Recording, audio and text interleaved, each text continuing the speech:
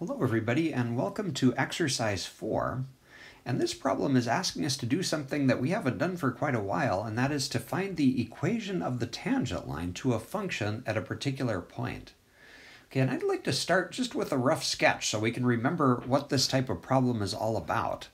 Okay, so we've got a function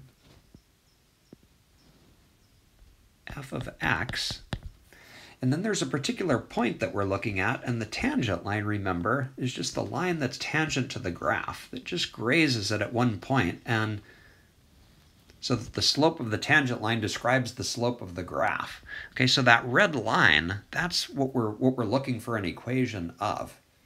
So let's remind ourselves, before we dive into this, just what pieces of information we need when we find the equation of a line.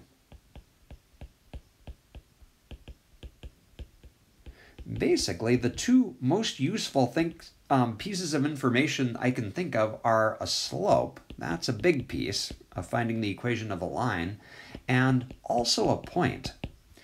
If we can find the slope of the line and a point on the line, we're in business. We can write the equation for that line. All right, so let's start with the slope.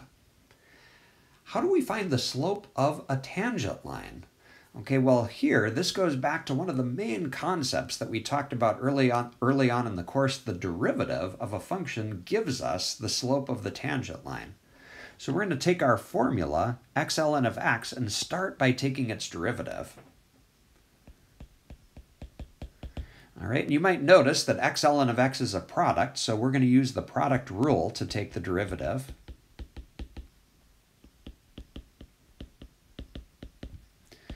All right, so we're going to get x times the derivative of ln of x, which is 1 over x, plus ln of x, and the derivative of x is just 1.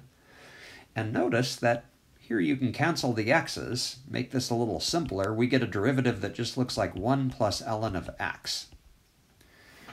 All right, how do we get a slope out of that? Well, here's where we remember that they're telling us that x equals e is the place that we're interested in finding the slope. So to get the actual slope of our tangent line, we're just going to substitute e into the formula that we got for the derivative. So we get 1 plus ln of e, and the natural log of e turns out just to be 1. Okay, so we wind up with a slope of 2 in this case. Okay, and then the other piece of information we need is a point on the line. And here, our picture might help us a little bit. You might notice that this point there's a point that's on both the tangent line and the function, okay, at the number x equals e. So if we want to find a point on our tangent line, all we really need to do is to take that number x equals e and to substitute it back into our formula. All right, so the calculation we'd like to do is just to take f of e. Um, so if we do that, let's see, substitute that into the original function, we're going to get e ln of e, and because natural log of e is 1 again, that's just going to give us a value of e. All right, so basically, putting that all together, we substituted in e, we got out e, so that means that the point EE is on our tangent line.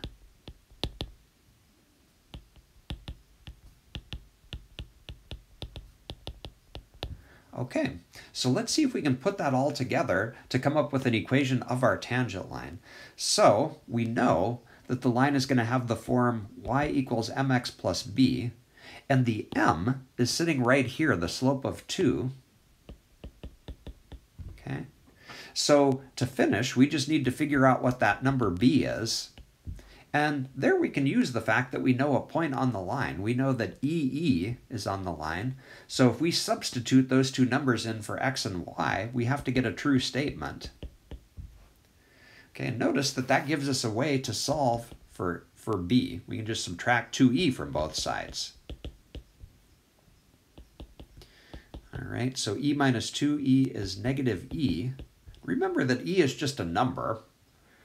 Okay, so there's our um, y-intercept, and we are in a position to write our final answer. So we're just going to take the line that we started with, y equals 2x plus b, and substitute in the b that we just found.